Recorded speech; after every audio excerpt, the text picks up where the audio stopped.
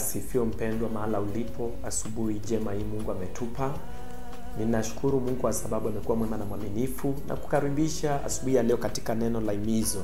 Anajua ya kwamba Mungu wa amani atakubariki na atapata kukutenda wema.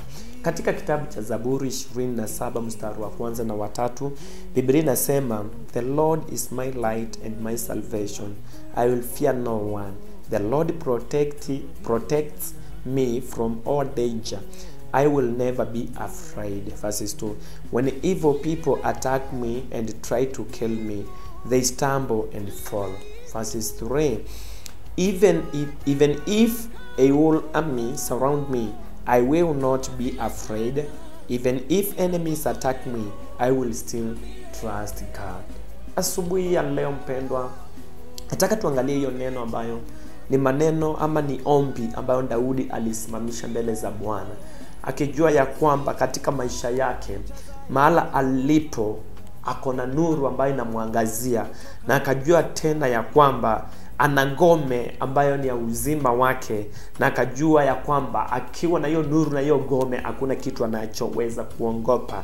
Na daudi alipokuwa akiongea na, na mungu katika ombi lake akasema ya kwamba maandui wajapojiandaa jeshi kubwa lijapojiandaa kupigana naye alisema ya kwamba hakuna kitu ataongopa e nataka ujue siku ya leo ya kwamba bwana ni nuru yako na ni uokofu wako. Na umu, nani mwingine unaweza kuongopa wakati uokofu uko nao na uko na ile nuru ambayo inakuangazia?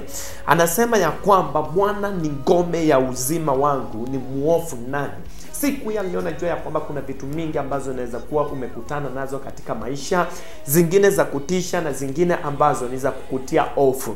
Lila nimekuja ni kuambia ya kwamba hamna mtu unafaa kuhofu as long you have jesus in you and he is the lord by your side. You should fear no evil you should fear no one because jehovah god is on your side.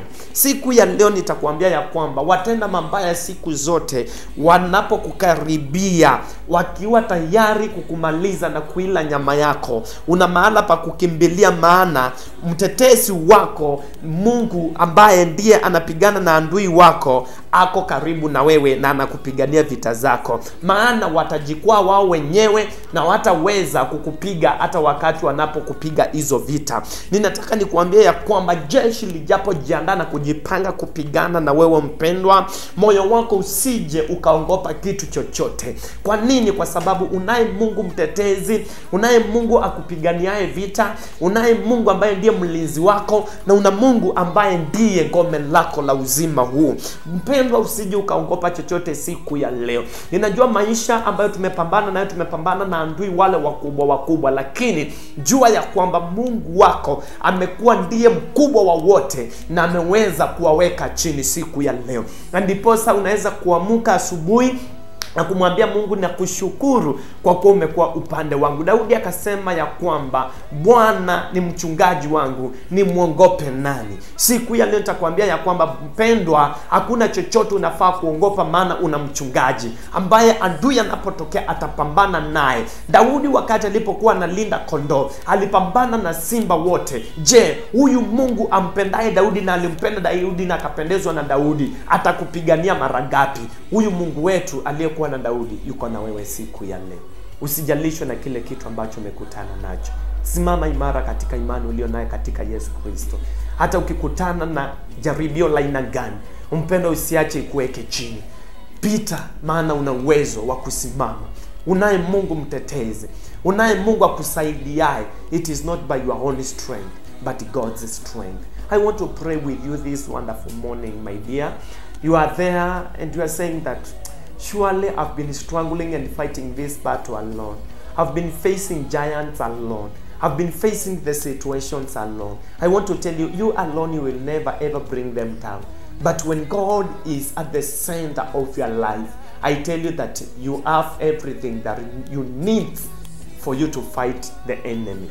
Na siku ya leo nataka niombe na wewe ambaye hujaokoka. Sema Bwana Yesu, mimi ni mwenye dhambi. Naja mbele zako uniokoe. Yesu, futa jina langu katika kitabu cha mauti na ukanyandike jina langu katika kitabu cha uzima.